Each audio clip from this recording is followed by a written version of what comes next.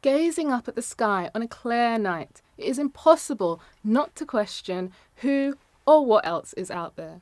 With around a billion quadrillion stars thought to exist in the universe, each of which could have several planets, the number of potential hosts of extraterrestrial life is enormous. However, with extremely varied physical environments, only a small fraction of these planets will meet the stringent conditions needed for any kind of life to form, let alone one which could evolve into an intelligent civilization. This idea is quantified by the famous Drake equation, a series of astrophysical, biological, and sociological factors combined to make an estimate of the number of intelligent civilizations in the universe. Whilst there is no exact solution, given the sheer size of the universe, the potential of alien life somewhere out there is not as small as you might have thought.